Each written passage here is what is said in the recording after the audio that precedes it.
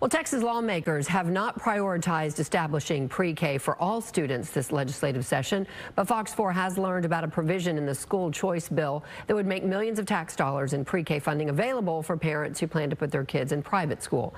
Fox 4's Lori Brown joins us now with the story. Lori. Heather, while kids who are in families that are low income qualify for free pre-K, the state does not provide any funding for kids to attend pre-K in middle income families. But that could change for some families under Senate Bill 8 if a family chooses private pre-K. For middle income families, going to pre-K in Texas, even at their public schools, will cost thousands of dollars. That's because the state only funds pre-K for children in low income families. But under Senate Bill 8, the state would provide $8,000 a year for a child to attend private school pre-K see pre-K in our state fully funded and see our public schools fully funded before money starts uh, being given for other aspects of school choice.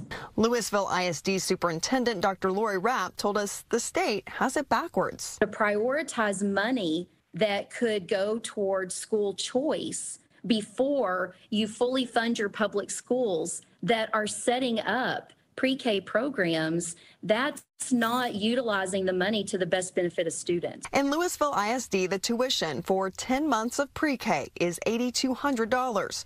Under SB 8, parents could apply for $8,000 a year through an education savings account to pay for private school tuition and related expenses.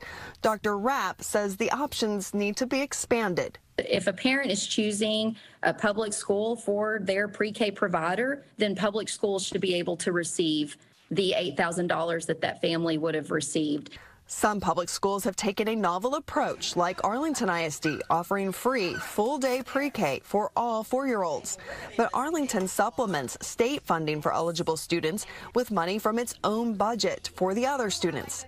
While SB 8 clearly states a child entering pre-K would be eligible for the private school education savings account, Senator Brandon Creighton, who authored the bill, did not talk about that eligibility during the initial discussion on Wednesday. A young child in that that household coming into kindergarten can use That's correct. this ESA. Homeschool families as well qualify for this ESA as long as it's a, a child going into kindergarten.